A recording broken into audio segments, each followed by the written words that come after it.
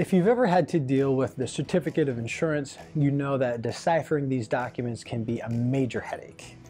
Although a certificate of insurance is typically only one page, the document contains a lot of information so it can be a real pain to understand and downright confusing sometimes. This video will act as a roadmap It'll help you locate where the additional insured language is indicated on the COI so that you can make sure that you're being covered. In order to know if your company is listed as an additional insured with regards to a CGL policy, you need to know where to look. On an ACORD Certificate of Liability Insurance, there are two places where you may find the additional insured AI status there is a slim column labeled ADDL INSD.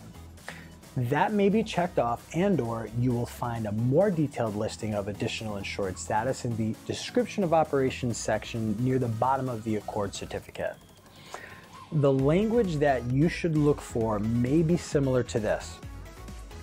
Your company's name, the client, and the lender are additional insurers with respect to the general liability policy as required by written contract.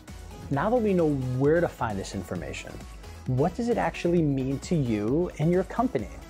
It means that if something goes wrong with one of your vendors or if something goes wrong with one of your subcontractors on a job, something breaks, someone gets hurt, you're going to be covered.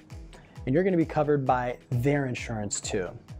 When you are listed as an additional insured on your vendor COI, you can feel at ease working with these type of companies because you know you are reducing the risk that your company is exposed to.